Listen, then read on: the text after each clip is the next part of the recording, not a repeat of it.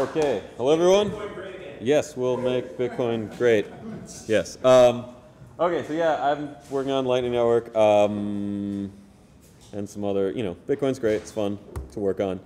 Uh, I'm going to recap Lightning Network real quick. Um, the basic idea is you make channels between two nodes, and a channel, from the perspective of the rest of the world, is just a two of two multi-sig output. Um, and actually, you can't even tell it's two of two multisig. You just see an address with a three in front. Or in the case of SegWit, an address, well, we don't know what the addresses will look like yet, but a 32 byte long address. Um, so you make a channel, you keep updating the channel state with your counterparty, and you can close cooperatively by interactively signing, and you can close non-cooperatively by having these stored signatures. That's part wh where you update the channel state. Um, and then you sort of can have these multi-hop things going around with HTLCs, hash time lock contracts.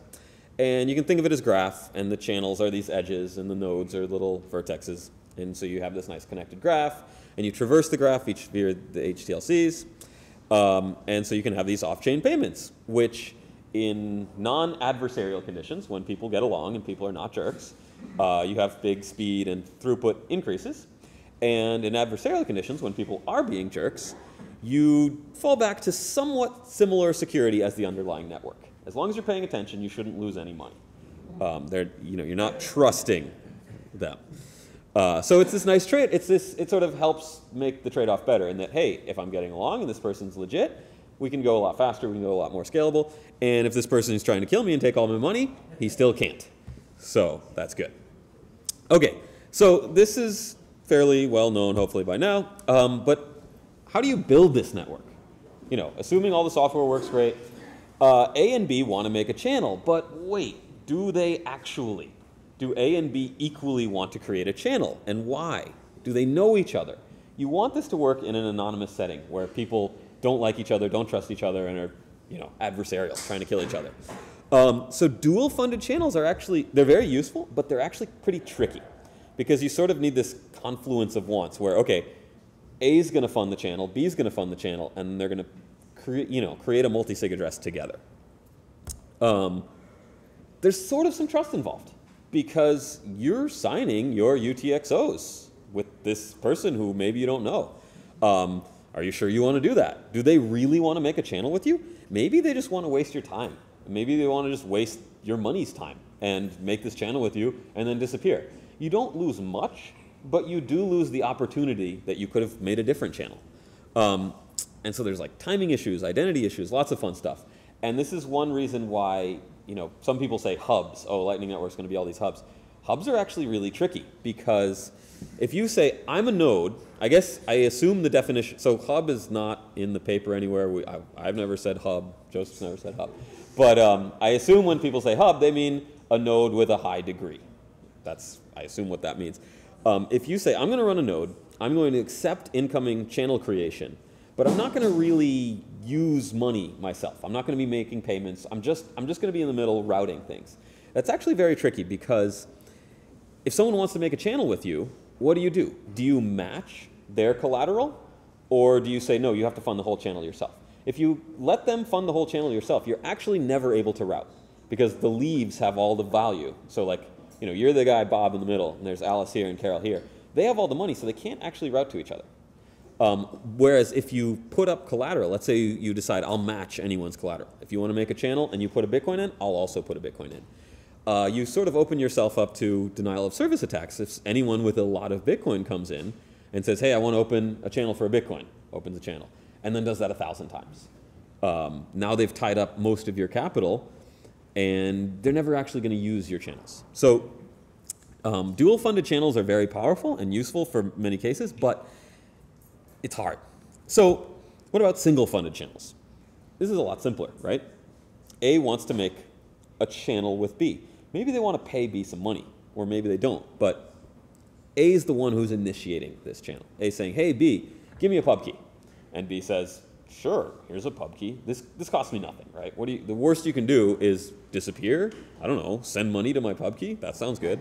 Um, so B is just like, yeah, I will generate a public key and give it to you. Um, and then A says, hey, B, here's this channel I want to open with you. Can you sign off on these refunds, you know, B says, yeah, sure, there's, there's no, no loss for B. So this is actually really easy to do. Um, and A gets to decide the initial state. So this can be you know, tied together with a payment. So A says, hey B, I'm going to send you a Bitcoin. And the way I'm going to do it is by making a channel with you and sending you a Bitcoin in that channel. And Bitcoin, B will say, okay, uh, I won't accept this as a payment until the channel has been established. But that doesn't take any longer than a normal payment to get confirmed. So yeah, here's a pub key. We'll make a channel. Um, there's one trick. Uh, one, one thing to be aware of is channel exhaustion. This is when a channel has all the money on one side. Um, and in general, you want to avoid this because it sets up, it's, it's really dangerous because of attacks, right? So let's say Alice and Bob have a channel. Alice has no money in the channel. Bob has all of it, right? Alice pushed it all over to one side. And now Alice says, okay, this is like state five of the channel. Back at state four, I used to have a Bitcoin. Now that it's state five, I have nothing. So broadcast state four, right? Alice no longer has anything to lose by broadcasting an invalid previous state. Um, so it's dangerous for the other guy. So basically, don't accept a state transition that will exhaust the other side. And don't try to exhaust from your side either, because that's not very nice. Um, so basically, you always need this sort of buffer within the channel, because if you completely push all the money to one side or the other, it becomes very cheap, you know, free for that person to try to attack and close the channel the wrong way. However, there's an exception to this, where at the initial state of the channel, state zero, channel exhaustion is okay because there's no previous non-exhausted state to broadcast, so there's no real attack, right? So in the case where A is creating a, you know, channel with B, and let's say A is pushing all the money to B. So A says to B, hey, I want to make a payment to you of one coin, but let's do it in a channel, and the initial state, state zero of this channel, is you have a coin, I have nothing. B says, okay, because B knows that A the worst A can do is broadcast, broadcast state zero to the blockchain, closing the channel as soon as it gets opened. Which, from B's perspective, the whole thing was kind of pointless. Why did you make a channel and then immediately close it with me? You could have just sent a payment. But that's okay. Uh, B doesn't lose any money. Um, so this helps the flexibility of single funded channels in that A can say make a full push channel to B, where basically I'm opening a channel to you and pushing all the money in it to you as part of the channel creation process. Um, a can also open a zero push channel where they say, hey, B, I'm opening a channel to you, but I'm not actually sending you any money. I'm just opening a channel with one Bitcoin in it, but I have the entire Bitcoin. And B says, okay, I lose nothing, and maybe it's, and now I'm a participant in a channel, so my, my node has a greater degree, which is kind of cool, and I can tell my friends I've got like five channels open. Um, so these are safe. However, after state zero, you do have to check to make sure that you don't exhaust the channel. Okay, so this allows a really simple, I don't want to say, well, okay, UI, but really, when I say UI, I mean like what keys do I type into the terminal at this point? Um, where, you know, you're sort of saying pay, destination, amount. And no choices for the user. You just pay the full amount, but you open a channel to do so. Um, so the actual flow would be, okay, the user says pay this destination this amount. First you look, do I have channels open? Do they have enough money to push out and can I route to this, this destination using the existing channels? If you can do that, great, use that, done. If you can't, open a channel for the full amount and push the entire amount to the, the new counterparty, and then you're also done. And you know, this one takes 10 minutes or whatever. This one takes a few seconds. Um, but it's in no it's there's no extra cognitive load for the users. It it can look a lot like existing Bitcoin uh, transactions. So this works. Um, this is simple.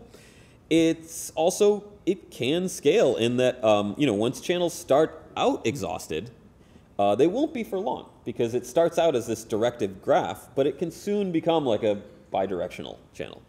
Um, anyone trying to send you funds can then use these channels, and the arrows point the opposite direction you might think, in that the if you're doing this this uh, simple UI, and you say, okay, I want to pay, you know, here's Alice, here's Bob. Alice wants to pay Bob a coin. She opens a channel, sends the coin to Bob. There's now sort of this arrow from Bob to Alice, in that future payments can be made from Bob to Alice using the network, but they cannot be made the other way. So if Alice gets, you know, receives money, then the channel becomes, you know, can be used for either direction. Um, you can also make cycles. So if you have, if someone opens a channel to you, and you open a channel to someone else, you you might be able to make a cycle somewhere else in the graph and equalize the channels that way. So it's So actually. question, why, yeah. why, um, have that initial state where the receiver is pointing back to the sender, why not have it be bidirectional? So you can have it be bidirectional, but then it, it the only thing it really adds is, is complexity for the user. In that I want to pay, you know, Alice wants to pay Bob one coin. How much should she put in the channel? Two coins? Three coins? You have to put at least one coin. But should you overfund the channel and only push one so that it starts out as sort of a, you know, balanced channel? And that's tricky because what if you only have five coins in your wallet, in your whole wallet? And should you lock up three? You know, should you put three coins in this channel with someone? Are you going to use it? You don't know their connectivity. You know, it, it adds a lot of complexity. Whereas you can, at the cost of some, you know, extra transaction, just say, look, the payment is a channel creation, and I'll use it from there. So, um, so it's, but yeah, it's it's not as efficient, right? So overfunding channels can help, in that if you're, you know, buying a coffee from Starbucks, and you just keep buying coffee every day and making an on-chain transaction every day, by establishing a channel every day, that's kind of annoying. So you may want to overfund the channel when you first create it, because you can say, hey, I'm buying a coffee, but I'm probably going to buy another tomorrow, so I'm going to fund enough for 10 coffees. Um, but right now, channels are really cheap to make. It's only about 12 bytes more in the transaction size. Um, and they're also pretty cheap to close cooperatively. It's two of two multisig, but since the whole SegWit thing has the inputs discounted, your like V size is like 25, 30 bytes more. It's pretty small. Um, so creating channels unnecessarily is not a huge cost, and it can be okay. Um, so yeah, and the thing is about the more complex Lightning Network transactions, which involve HTLCs and the pre-images and timeouts and all the fancy stuff, are probably not going to happen. Um, it's sort of like oxygen masks, in that like that's where most of the engineering is, and I'm sure in airplanes they do a lot of work to make these oxygen masks. But like I've never seen one happen. The plane just works fine, and uh, as long as things work fine, people use it. And somewhat like oxygen masks, people will probably use money using Lightning Network, but it won't be because of this. It'll be like I lost my phone or someone hacked my server, and, and all these fancy transactions will be sort of a separate thing. Um, so the real reason to open a channel without making a payment will be for new use cases, for things like okay, streaming video, where I you know open a channel and then pay micropayments, things like that. Um, but I think the straight, most straightforward way to sort of transition, where people are like, "What is this Lightning thing? How does it work? What am I?" do-" You know, you don't want people to shoot themselves in the foot, so you can say, "Look, it works the same as Bitcoin, just." Under the hood, it's opening channels, and if it can reuse those channels, it does, and if it can't, well, it doesn't. So this is sort of a nice transition. And then maybe years down the road, when it gets more expensive to be making transactions, you'll already have this huge network of channels. Okay, but now we have to talk about the real problem. And this is something that people have been ignoring scalability-wise. I mean, we've been talking about, you know, capacity and latency and, and propagation and the, you know, networks for miners and their SegWit and XT and Unlimited and Solid Forks and Soft Forks, and it's a mess, right? But nobody's really talking about the real problem here, uh, which is Bitcoin scalability. It's not up to snuff. Um, Bitcoin only has eight decimal places, satoshis, right? And one US dollar is about 250,000 satoshis. So a micropayment is, you know, micro, mu, a millionth, a millionth of US dollar, which is 0.25 satoshi. So Bitcoin does not currently support micropayments. Uh, and it won't until the price of a Bitcoin falls below 100 US dollars. So this is a, you know, significant, it's been oversold. A lot of people are saying micropayments. As, as soon as it went above 100 back in 2013 or so, like, doesn't support it anymore. Micropayment, it, uh, millipayments maybe, but not micro. Uh, so this is a huge problem. I mean, this is a little tongue in cheek, but you know, micropayments is something I'm interested in. Sort of, how can we push micropayments forward? Um, how can you do sub Satoshi payments? I guess right now, you know, it's only worth a couple hundred bucks. There's not a whole lot of reasons you want to do sub Satoshi, but this is this is a scalability problem. Maybe Bitcoin can't be worth $10 million because then that makes Satoshis worth too much and you can't transact smoothly and stuff. Um, So you could trust your channel counterparty. In Lightning Networking, you can you know, say, hey, I'm sending you half a Satoshi, but it's trusted. And then the next time I send you half, we actually increment the state. But that's no fun, right? You're trusting your counterparty. Um, how can you subdivide this without trust?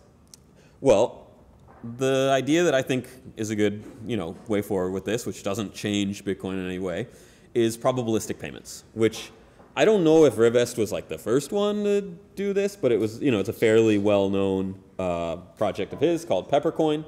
Uh, he used like an inequality of the low, low significant bits of a RSA signature. He said, okay, if this low bit, low byte of the signature is above 200, then the payment happens. If it's below that, it doesn't, kind of thing. Um, I don't. That was way before Bitcoin. That was using like existing uh, currencies and existing credit cards and stuff.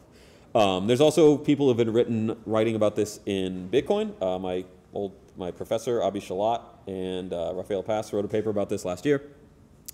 Of you know, how can we make probabilistic payments? How can we say like, look, I can't pay you half a satoshi, but I can pay you one satoshi with a probability of 0.5, and you will accept that proof of a probabilistic payment as the payment itself. And in a, you know, in the long run, it ends up averaging out to be fine.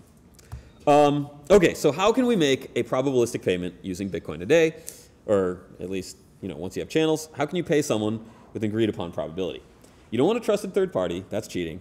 Where do you get the randomness? Do you get it from like the block hash? Where do you you know where do you get randomness? And you've got a really limited set of opcodes. All the fun opcodes are in red here. You know, opcat. What? Sir? yes, that's the only opcode that's left. Everything else here is gone. Opcat, if you had opcat, you could just make MAST like tomorrow. Uh, op substring, op left, op right, all the fun stuff. But op size is still white. So you can use op size to check a preimage length. So the basic idea is, you know, a fancy way to say it is two-party envy-free cake cutting, which there is a Wikipedia page. If you search that, there's math, there's like symbols. Um, but it's divide and choose. This is something little kids know. It's like, okay, if you have two people and they want to split something evenly, okay, one person cuts it in half and the other person picks which half. Uh, so that you sort of have this interactive process where no one can, you know, you are sharing the computation. Um, okay, so the basic, the super high level view is the divider picks a preimage length, either 20 bytes or 21 bytes. The divider hashes it, sends the hash to the other guy, or girl, I think Carol. Um, the chooser then picks a preimage length based on the hash, and if they choose the wrong length, they win. If they choose the right length, they lose. That way, uh, well, you'll see it. It, it works that way. Because um, otherwise, you know, if, if they could just give the two wrong lengths and stuff. Okay, um, so you make this iterative. You need a couple more steps. You have to sort of put your channel in limbo first so that you can't back out of it. Um, so you sort of tear up the previous state you make, you make a state that's not valid for another couple hours. So like you use op CSV or something. And then um, you tear up the previous state. So now your, your channel's in limbo and you cannot immediately close uncooperatively. Because otherwise the person who sort of made the payment could take it back. Um, so in this case, Dave is the decider, Carol is the chooser, and Dave is paying Carol half a Satoshi, or five nano Bitcoins. Okay, so Carol makes two random preimages of length 20. Uh, hashes them both, sends both hashes to Dave. Says, okay, Dave, here's hash y1 and hash of y2. Dave makes a single preimage, which is L bytes long. Dave has to choose 20 or 21.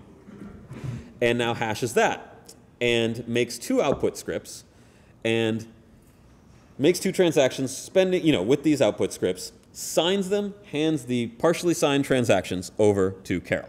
And I'll go through the script. So basically there's three paths. I mean, this is not the actual opcodes. The op opcodes are kind of ugly looking.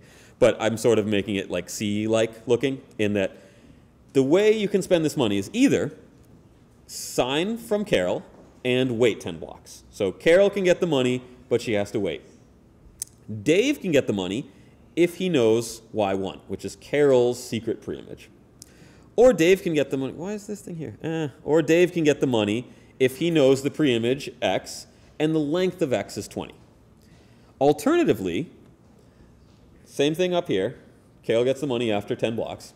or Dave gets the money if he knows Y2. These are sort of the revocations. So Carol can rely, you know, can reliably revoke a claim on one of these transactions. Or Dave knows X and preimage X is of length 21. So the way it works is Carol gets the money no matter what after a while. And so the real question is can Dave, can Dave get the money immediately or not? The way Dave can get the money is either he knows Y1 and Y2, and since Carol hasn't said that to Dave yet, he can't. So the only thing that matters initially is this length part. So Dave signs both, sends both to Carol. Carol now can choose, okay, which, which transaction do I want to pick and sign myself? Okay, so Carol now has two half-signed transactions, these two. She can do a couple things. She can do nothing. She can sign and broadcast both. She can sign and broadcast one of them. Or she can choose one of them sign and send the signature as well as the opposite transactions preimage that she made to Dave. This is sort of the five and six are the cooperative ones. Three and four are the non-cooperative. One and two are just dumb. Um, so we will start with the first one. She can do nothing. The channel's in limbo for the next 20 blocks or so, and Dave is like, what the heck, Carol? And then closes the channel after the limbo ex expires. So the payment did not happen, but it was a payment to Carol, and I don't know. So it's not dangerous for Dave. At worst, you, you know, the, the whole thing times out. Uh, Carol can sign and broadcast both of these transactions. This closes the channel. Um, it's really the same as signing and broadcasting only one. It's just now you're letting the miners decide which, which signature to accept instead of choosing one yourself. So if you really want to like, oh, I don't even want to pick, I'll just sign both and see what happens. Okay, but now if Dave is in friends with one of the miners, that's very dangerous because Dave knows which one he profits from. Um, but assuming that you're just doing this normally, Dave waits for one of the transactions to get in the block and then proceeds as if that one were broadcast. Okay, so 2 ends up being a lot like 3, 4. Okay, so she can sign and broadcast the chosen transaction. If she chose the wrong length, she wins after 10 blocks. If she chose the right length, Dave sweeps immediately, right? So let's say X is actually uh, 21 bytes long. And Carol chooses 20. So she signs transaction one, broadcasts it to the blockchain, gets in a block. She can't spend this for another 10 blocks, but Dave can never spend it, right? Dave doesn't know Y1. Dave does know X, but X is 21 bytes long. So he's stuck. The script won't execute on any of Dave's keys. Uh, so Carol just has to wait 10 blocks. Carol signs, and then 10 blocks later gets the money. Um, let's say Carol chooses the right length, which is the wrong thing for Carol to choose. Um, it's a little confusing. Carol signs this, broadcasts this. Dave should actually wait until it's confirmed, right? Because there's sort of like, he doesn't, you know, he, sh he should wait till it gets confirmed. And then as soon as it's in a block or two, it's like, okay, I'm not, I'm pretty sure it's not going to get double, because because Carol might try to double spend and stuff. So once it's in a block or two, Dave's like, great, I know X, X is of length 21. I will sign, and I will use this part of the script and take the money. Um, this, this, these three and four, sign and broadcast, means you're closing the channel. And right now, that's much more expensive than one Satoshi, so you shouldn't do that. But you can, and you need to be able to. Um, okay, so 5, 6 is Carol chooses, cooperates, and indicates to Dave which side she's choosing, right? So let's say Carol chooses 20. She signs transaction 1. She also sends Y2 to Dave. This means that if Carol later tries to sign and broadcast transaction 2, Dave gets it immediately. Whether he, whether it, no, regardless of the length of X, Carol is saying, look, I revoke my claim on transaction 2. I'm signing transaction 1 and giving you the signature of transaction 1. This is the one I choose, and I revoke my claim on the other one. So now Dave can broadcast transaction 1. Um, and they sort of know who won, right? And so they can say, okay, GG. Oh, sorry, wait, this is Sig David. Uh, there might be, I have the actual opcode somewhere else. There might be a mistake. Yeah, no, this works because um, Dave can't broadcast this because he does not have Carol's signature yet. Yeah, so Carol sends the signature for this. Dave can broadcast this whenever he wants. Carol does not sign this, but gives the revocation. So if she ever does sign it, it becomes very dangerous for her to broadcast. Okay, so then they sort of can GG. And basically, Dave needs to then reveal X and say, hey, guess what? It was 21 bytes. And then Carol says, ah, shoot, well, you won. I didn't get this payment. Or Dave says, hey, you won. Look, X is 20. And then they update the state to reflect um, that the payment went through. But this is a, you know, so that part's cooperative, but they could have broadcast at any time up to the sort of GG part. Um, so you can iterate it, right? And you, after Carol sends the pre-image and the signature, Dave needs to reveal. They both know who won. They cooperate, update the channel state. They don't have to cooperate and update the channel state. Either party can close at that point with the winning or losing transaction. Um, but it's a lot, you, you know, the incentive. So it's not really trust because you, you, can close given the single Satoshi difference, but it's a lot cheaper to keep going and iterate on that. Um, so for sub Satoshi, I sort of made this fairly simplified because you actually make the transactions with two outputs and you sort of flip the scripts because otherwise you're closing the entire channel to one place. So you really make two output scripts, one which one gets, one gets the other, and you just change by one Satoshi. But anyway, it, it works like that. You could, in theory, also make more than one Satoshi for these output sizes difference. Um, so the timing for this is when Carol gets those two transactions from Dave, she considers that payment and then provides the service she's pay, you know, providing or something like that. Carol does not have to wait for the rest of the sequence to happen. Um, and she can always close with the probability of an incremented Satoshi after this point. And so you don't have to wait for the entire process to clear. You say, okay, Dave has given me the signature and these, you know, the two signatures, two transactions. I know as long as this hash function is working and everything's working normally, I've gotten half a Satoshi. Um, so yeah, you can do half a Satoshi. If you want 0.333 repeating, okay, you have three scripts and three different lengths. And the pre-image can only be one length. Uh, you can have 0.25, you can have 1.1. You can't really do like one in a thousand because that would mean your pre-image lengths have to go up to like a thousand bytes, and that's really that won't even fit. I think like 500 or something. Yeah, uh, the thing is, you can't. So like, you only have like two hash functions, right? You have SHA-256 and RIPEMD160 because the others are chained, and so if you know the pre-image of a double chain, you know the pre the intermediate one. So like, you can you can double it that way. You can you can you can get twice as much that way, but you can't like. Anyway, there are ways to to scale it out more. But so anyway, so you don't get like a bazillion different probabilities, but you do get like at least an order of magnitude scalability in the down direction, right? You can definitely have 10, you know, a tenth of a Satoshi, and you can actually do better. Um, but, ten, but just this simple version gets you at least like 10x.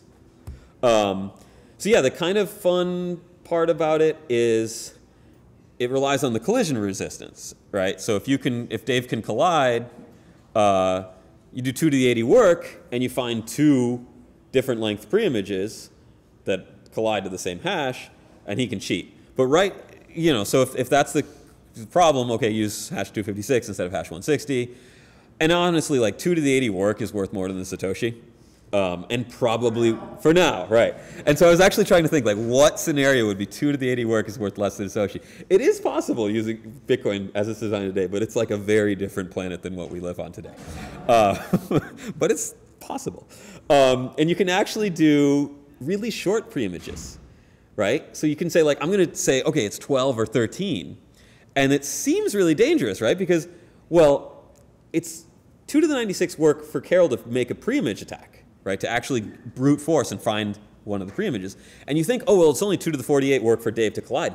But there should be no colliding pre-images with that short of a length for hash 160. So you can, you can actually, I mean, it's totally academic because like, why not just use 20 and 21? But you can actually go down uh, as well to shorter pre-images. And, and there's also sort of this trade-off where like, even if you could do 2 to the 50 or 60 work, it's for a Satoshi, and right now the Satoshi is worth much less. And it's the same hashing function as mining, so if you have lots of ASICs to try to cheat at this, why not just mine? Um, so it's, it's a kind of fun math stuff. Anyway, okay, so summary of all this fun stuff. So single funded channels are easier. They're easier for me to program. They're easier UI-wise. They're easier to think about. I like it. I want to put that in my software. Um, exhausted channels are bad, but exhausted on open is okay. So you can make these channels one-sided at their first state, and then they eventually become nicely balanced. Uh, and the network can grow with single-funded transactions, uh, single-funded channels. And transactions are pretty cheap right now. So yeah, long-term, you want it to be like really efficient, and single-funded transactions uh, channels are not as efficient. You may end up making more channels, and it's kind of ugly that you have like five channels open with the same person. Like the, these two nodes have five channels, and like why not just have one? But right now it's okay. Um, is there more text at the bottom here? Oh. Huh, weird. That's weird. Um, okay. Uh, so yeah, these uh, the real scalability problem has been ignored until now. Uh, pre-image link probabilistic payments, PILP, I don't know, uh, can scale Bitcoin in the true micropayment range. And trustless nano payments, and maybe Femto and atto, you could maybe make chains of these things. So like one's conditional. Yeah, I, we don't need that yet, but someday. Um, so you can avoid the divisibility forks, which you know, five years from now, everyone's going to be arguing about extending to 10 decimal places, and we want, you know, int 128. So no, we need int 256, and there's going to be all sorts of clients fighting each other. Uh, we're going to try to prevent that from happening way before it happens. And um, while these transaction types and all this, the whole idea may have a low demand, given the current price of Bitcoin, we do need to plan for the future. Also, it's kind of fun to think about these things. Um, right. Okay, so, wait, huh? Oh, do I have to go back to? huh? Yeah, I have a, wait. Questions? Okay, there probably are some, but yeah, causality. Uh, and also thanks to DG717 and Denise and Michael for setting things up, and Co- Chaincode Labs and Blockstream for the pizza, and thanks for everyone for coming. So, questions? Okay.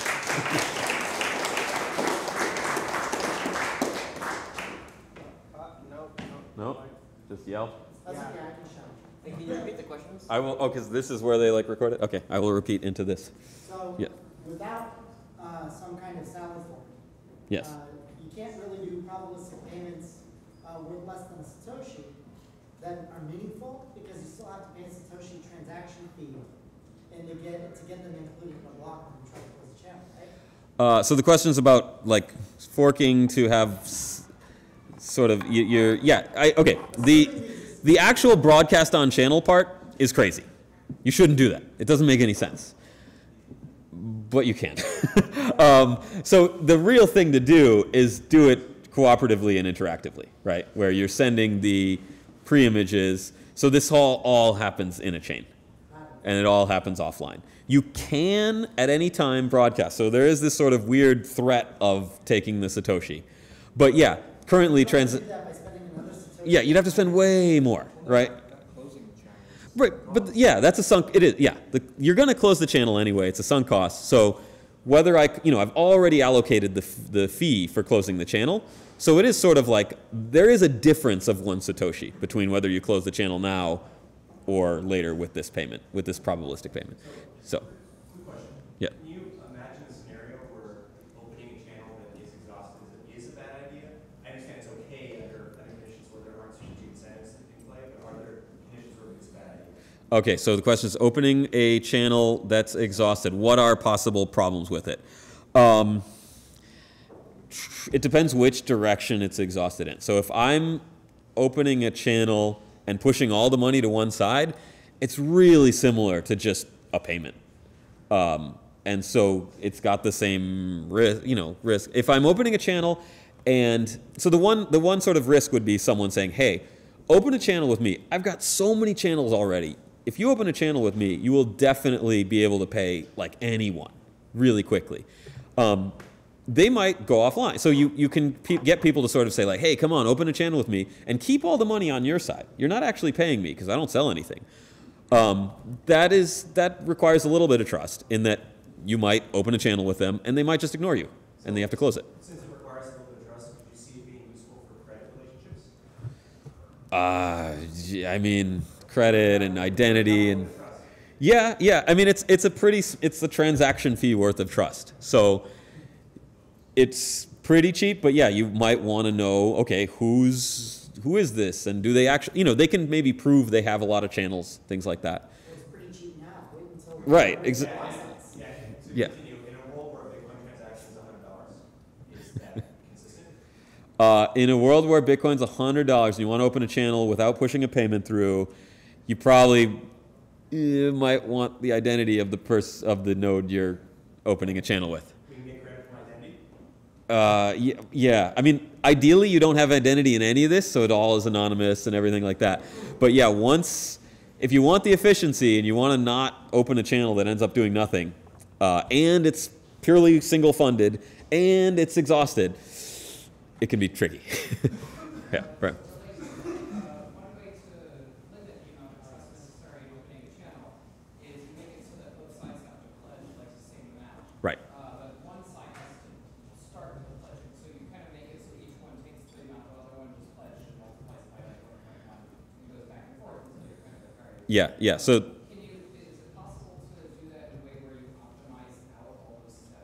all include pledging? Uh, yeah. So the question is about like if you know, le- there's less trust involved when it's a dual funded channel, and in some ways there's less trust in that they're both sharing the transaction fee. Um, there's still sort of identity maybe going to be involved in that like you can tie up. It's pretty minimal in that like the worst case scenario is someone, let's say the transaction fee is somehow $100, and someone pays $50 to open a channel with you, and you also pay $50, and then they just disappear and they paid $50 to cause you to make $50 and it's kind of annoying. Uh, so there's still like going to be this identity, you know, and that you want to know. So really the ideal way to do it is you're paying someone. And like, okay, I'm buying a computer from Newegg and I will open a channel with Newegg and I will pay the transaction fee. Hopefully it's not $100 and you know I'll pay the one dollar transaction fee or whatever. Send Newegg the payment, and I'll also put more in because I know who Newegg is. And the thing is, with commerce, there's always going to be trust, right? If you're sending someone money, you probably trust them to some extent in that like they're giving you something in return. There's always going to be that sort of issue. Um, so, um, so I, I think the best way to do to scale this out if transaction fees become higher is couple payments and channel creation. Um, that seems the most straightforward way to do it. Okay. Any other? Uh, yes. Uh, thanks, for the presentation. Sure. Sure. You mentioned that you didn't say payment hubs in the white paper. But in the white paper, you do talk about how the future topology of the network will look pretty much like the internet with tier one ISPs. Probably. So which that kind of looks like payment hubs. So. It's sort of like okay so the question is you know in the paper we don't talk about hubs but we do talk about this topology looking something like the internet in that it's going to have some hierarchy. It's not going to be flat right? There's going to be a pareto distribution of nodes degrees and stuff like that. And that's just sort of like the way the universe works. Like you can't stop. You can a lot of people try to like make everything like a flat distribution. It just never works uh, because you're like, oh, let's have everyone have the same amount of this and that, and and just the universe is not flat. It's everything's power law. Um, so you're gonna have people, you're gonna have merchants that have thousands and thousands of channels with thousands of different customers, and then you're gonna have someone who has got like one channel, and they don't don't really use Bitcoin. They just used it for this one thing once, and they have this channel open, and they just leave it. Um, so, so I think that the natural state of like any large network is going to be like a scale-free graph. So you're going to have, you're going to have a some nodes with a ton of channels, and everyone's going to route through them. And that might not be because they're running the node only to be a node and route. It might be that they're Amazon.com, and so they have just tons of channels with everyone, and so they end up routing payments, something like that probably. But isn't that, but isn't that a centralization effect? And then if these other people are, let's talk about merchants, a lot of merchants might say, I don't want responsibility of maintaining all these channels, running software twenty-four seven with ninety-nine point nine nine Yeah. percent uptime. They'll say, I want to outsource it to a, uh, blockchain company specialist to do that. Yeah, that could that that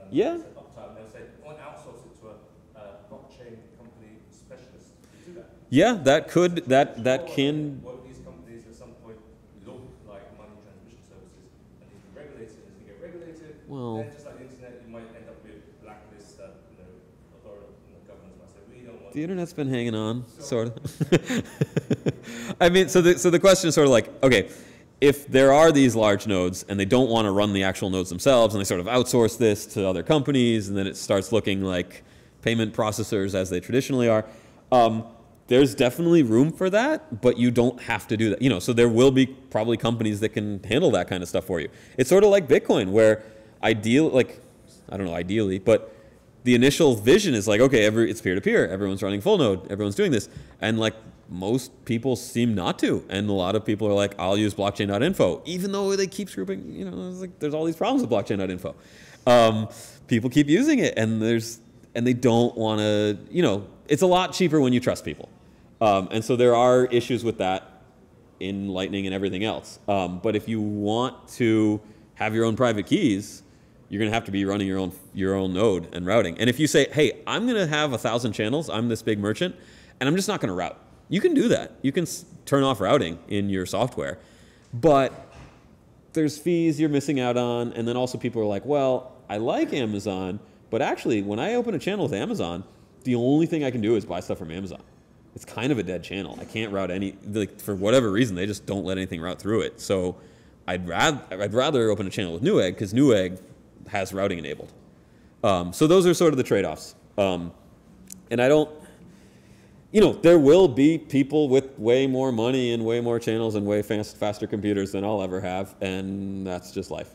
So, so um, as long as it's not like inherent in the system itself that it sort of like converges to one singleton that owns everything and like and then and as all as long as you can route around it and say like hey we're going to make our own network that we don't even connect to everyone else we just have a couple channels with friends and we're going to run it like that then that to me is like probably good enough to keep it if not decentralized then you know decentralizable or something so yeah ah yes sorry Uh, have you seen any real-life applications of probabilistic payments that give us some examples or inspire some of us to maybe try out as possible business ideas or even?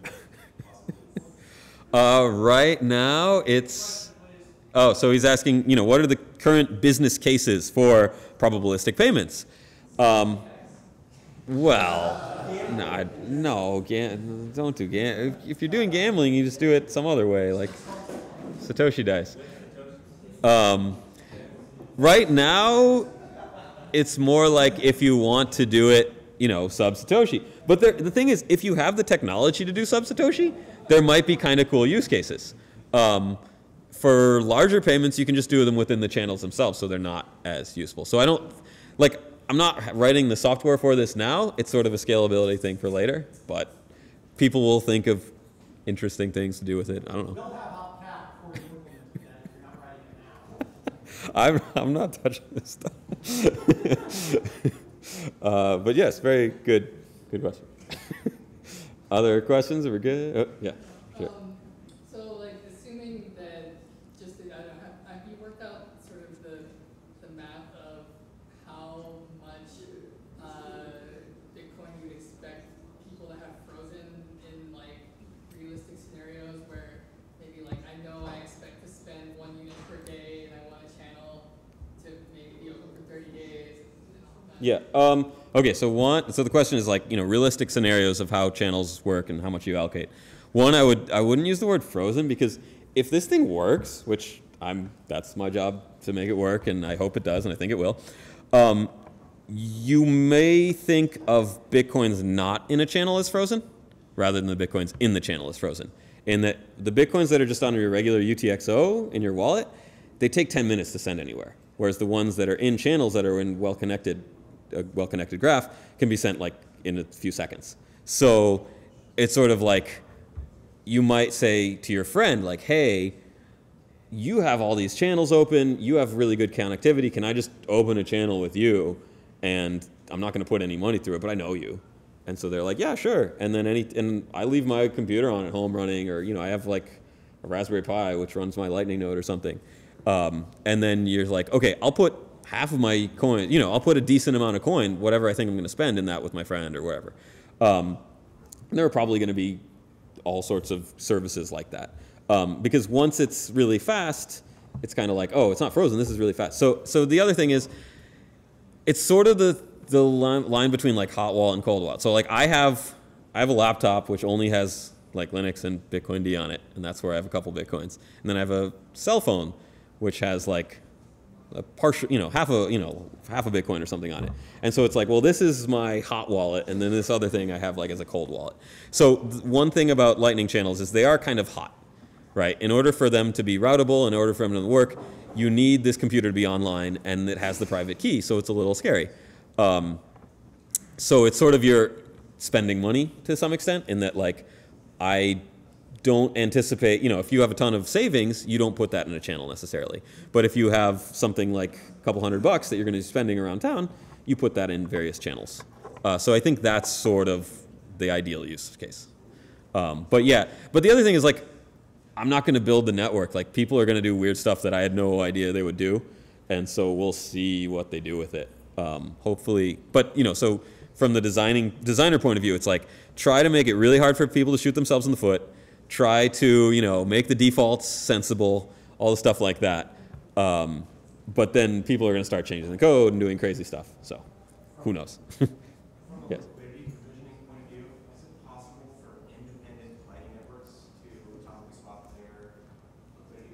Oh, so the question is, can independent Lightning networks swap liquidity? Uh, do you mean like on different blockchains themselves, or? It it could be different asset classes. Yeah. So so one thing that um, since this is Bitcoin devs, we didn't usually talk about altcoins, but you could open a altcoin channel to a node, and then that same node has a Bitcoin channel, and you can sort of route via altcoins or sidechains or permissioned ledgers or whatever you want to call altcoins today. Um, so like you could have you know Dogecoin in the middle. Like Alice has a Bitcoin channel to Bob. Bob has a Dogecoin channel to Carol. Carol has a Bitcoin channel to Dave. Um, the end points are all moving Bitcoin, but somewhere in the middle there's this Dogecoin transaction that happens, and I, I think Dogecoin has hash 160 and all the same you know opcodes and stuff. So the people on the ends don't really care how the payment gets there. So yeah, you can definitely have inter-chain liquidity provision. So you could run a node and you could say like, look, I'm gonna trade bitcoins for Dogecoins because I want more of one or the other. So. Would you call that entire topology the lightning network, or would it be something else? Uh, yeah, I mean, yeah, there's not going to be like the Lightning Network and that like people can make separate graphs easily. It's really software. Uh, I we sort of thought of it as like the Bitcoin Lightning Network, as in there will be a pretty big graph of well, you know, connect of where there's paths between everyone, so that Bitcoin payments can happen. There's also going to be all sorts of weird subgraphs for like altcoins and altcoins to this thing and stuff like that, and people will call those other things, I guess. I don't know. Yeah, it's all going to be running on. But yeah, send me money, and and Bitcoin's going to be the sort of core settlement. It seems like. Yeah, it's going to be the core money that everything happens with. So, cool. Other oh, yes. Um, thanks for the great presentation. Sure, sure. You guys have done. Um, I was sort of curious, because I know there were a lot of efforts to bring features of the Lightning Network onto various blockchains. Um, is there a concerted effort by you guys and everyone else who's working on it to make sure that those various implementations are interoperable? Not in the sense of being different blockchains, but if there are multiple potential ways to create, you know, Lightning Network on top of Bitcoin, uh, what's being done to ensure that they can sort of interact with each other? Um, yeah. So, so the question is sort of interoperability of various Lightning software, be it on the same blockchain or different blockchains. Um, the thing is, so okay. The first is if you're on different blockchains, make sure you have the same hash functions and make sure you have similar enough opcodes. So maybe we should make like a spec of like your blockchain needs to support this in order to support Lightning. um, uh, but generally, most of the blockchains are derived from the Bitcoin source code, and so they do. Um, but yeah, it's a good question. Like, does the Hyperledger project or like IBM's thing or you know what all these other companies are making, will it support it? And and in general, yes, as long as they have. It's mostly based on like hash functions and some other like opcodes. Um, mostly they're compatible, but they might design it in a way that's really annoying to program and stuff like that. So if it's, you know, like you could probably do it on Ethereum, but I haven't really looked at the Ethereum scripting language, so it might be actually kind of tricky. Um, so whereas if it's like Dogecoin, it's probably really easy because it's the same as Bitcoin. Um, and then in terms of the different clients, like we're not really at a point where we have fully functional clients. Um, so getting it all sort of standardized, I think is going to happen after we've got stuff working. And I think you know we're we're sort of like the different people are sort of working on their own different topologies and stuff, and we'll all get it interoperable in eventually. The nice thing is that you can have it's not like Bitcoin where everyone's code has to agree on stuff. With Lightning Network, you can have like, oh, I'm running Lightning X and you're running Lightning Y, and there's a subset of features that they can agree on and use. And mine does this other cool thing, and yours doesn't, so I just don't use that. Um, and you can actually even upgrade your software while keeping the same channels, right? You open a channel with version one, you upgrade your software to version two. The channel itself on the blockchain remains the same, but you can now have new state uh, transactions that you exchange with the parties. So it's it's gonna be a little bit of a mess, but it's a lot easier than dealing with like Bitcoin, where you have to like get everyone to upgrade at the same time and stuff like that. So cool question. Uh, yeah. Yeah, um, so with, with Bitcoin today, it's basically that every 10 minutes we get a snapshot of the world. We know the, which account address has whatever amount of balance every 10 minutes. It could flux in, in those minutes. Now, if somebody opens a long lived channel, we get to lose some of that information. So, you know, if I, if we open a channel for a year, for Mhm. example, you know, and I start moving on Bitcoin to you, we don't, you know, three months down the road, nobody knows how much you have and I have. Mhm. I was wondering whether, are you going to do like yourself to have some kind of a, by default, in some kind of audit trail recording these things? Because there are some people, not everybody, some people in the financial sector, especially accountants, like Bitcoin because it provides a Mm. complete snapshot of the world. Right. Now we're taking things off that book, off the books. Somewhere, something like offshore, we don't see that anymore. Right. Right. Yeah. Offshore. Okay, so the question is sort of with Bitcoin, you see all the UTXO set, you see all the blocks, you see all the transactions. With Lightning, you don't see what happens within the channel over weeks or even months or years. Um, and some people like seeing it. So it's to some extent it's a feature in that you don't know how much money I have, and it's you can always prove your channel state. Um, you can prove, you can say, okay, at state 75, which is the current state, I have this allocation within the channel, and you can prove that to any party pretty, pretty easily. You basically have that on your hard drive. Uh, in order to prove that the allocation at a state, and in order to prove that this is the most recent state, you have to have both parties agree to prove and sign. Because otherwise, you could say, hey, I'm at state 75 and I have five bitcoins, and actually you're at state 80 and you have one. Um, so you can always you can always like bra you know you can always tell someone an old state. Um, if you get both parties to cooperate and they say, nope, we're at state 75, this is the current most recent state, and you can prove to someone else. Um,